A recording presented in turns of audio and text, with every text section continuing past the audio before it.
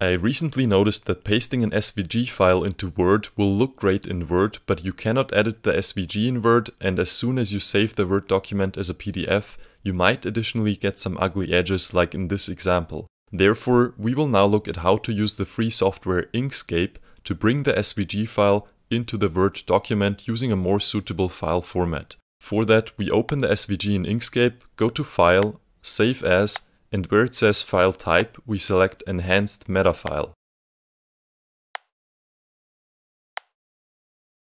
After we saved the file, we import it into the Word document. And if you now want to make this sketch editable, simply make a right click on the sketch and select Edit Picture. This will allow you to select and change single shapes within the sketch. And if we compare the standard SVG with the EMF file in the final PDF, you can see that the EMF file also looks nicer. If this short video was the solution to your problem, then you could do me a huge favor by subscribing to the channel and also liking the video. Thanks a lot, and I see you in the next one.